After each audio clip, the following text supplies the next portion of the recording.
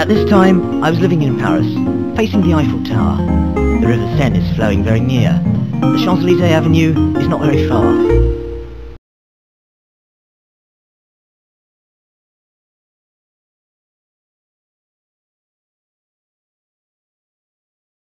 As far as I'm concerned, I was living more on the east side. From my bedroom, I could see Montmartre. The sight was great, but I could not take advantage of it. I spent all my time playing Bargon Attack. Suddenly, everyone had become crazy with that game. The Bargamanian had spread like wildfire.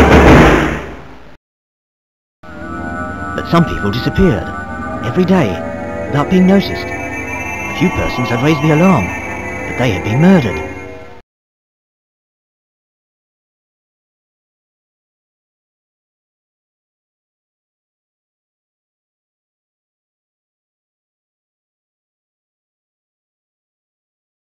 What could have rung a bell to us Earthlings was the name of the firm which had published Bargon Attack. It was called Invaders. The Invaders?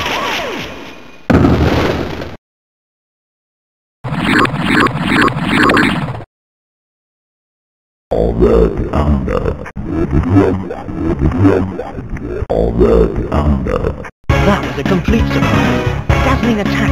Within a few hours the Earth was turned into blood and fire. The Bargonian hordes were marching, slaughtering, mutilating the population. Then, in order to perfect their task, the Bargonians disintegrated the Earth! Fortunately I, Bob Sprite, was already on Bargon to catch up with it.